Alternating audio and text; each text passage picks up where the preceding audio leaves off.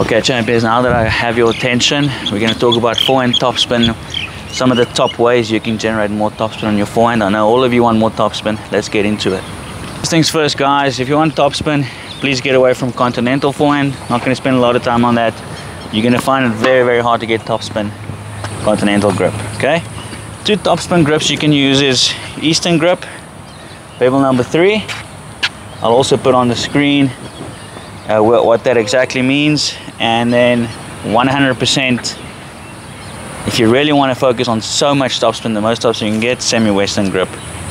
On forehand bevel number four will help you the most. So you can hit topspin with eastern semi-western even more.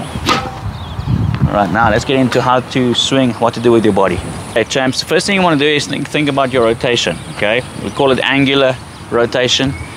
The more topspin you want the more you have to rotate around your body okay?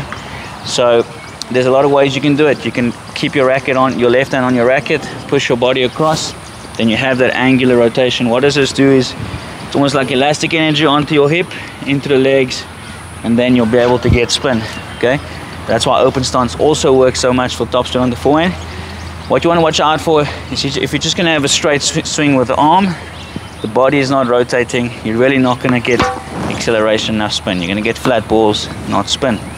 Okay, so this is what happens when you start rotating. Even if the close stance, if you watch Djokovic, even when he goes close stance, there's a big rotation to really rip the ball.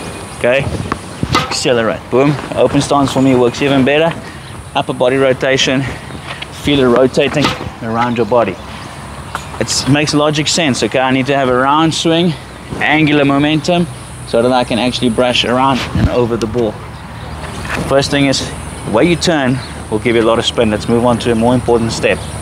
Step number two, guys, many coaches talk about dropping your racket below the ball, uh, having the, the butt of your racket facing the ball before you hit it. Very, very important. But there's another important step that you need to add to that.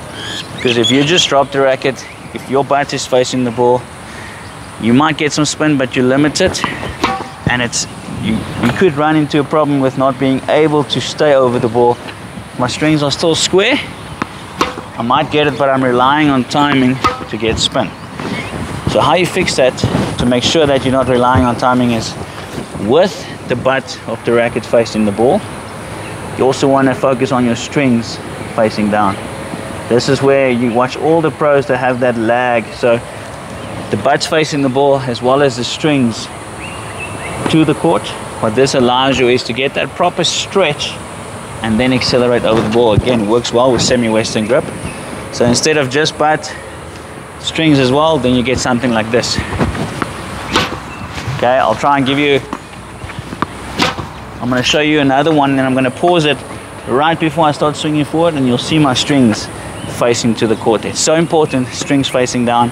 It also helps you, once the strings are facing down, you keep the strings closed all the way over the ball before you relax. If the strings aren't facing down, you run the risk of this happening on contact point and it being shaky, not being able to brush over. Okay, so try and spot my strings facing down. I'm gonna give you two. And the third one, I'm gonna pause right before and check, check my strings, all right? So there, strings staying down. And now I check this one, I'm gonna pause it.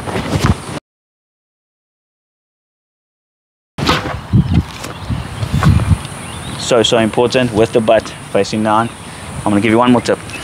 Okay guys i'm to be a very bad coach if i don't give you this tip and that's why this tip is in most of my videos as well.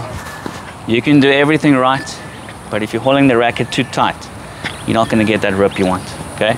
So i can have the turn strings down but if my racket's too tight can't swing through the ball quick enough might might go in but there's no weight on the ball on that side. So you do everything that we mentioned, but you grip the racket at 40% and then you have that whipping motion.